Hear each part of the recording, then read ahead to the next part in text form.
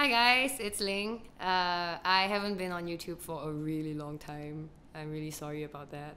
I'm coming back this year and I'm making a lot more videos uh, cover songs, uh, English ones, Mandarin songs. Those of you who like Mando pop or M pop, uh, some people call it that.